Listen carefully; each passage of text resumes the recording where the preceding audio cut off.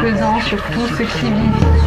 On exécute tellement de d'êtres vivants.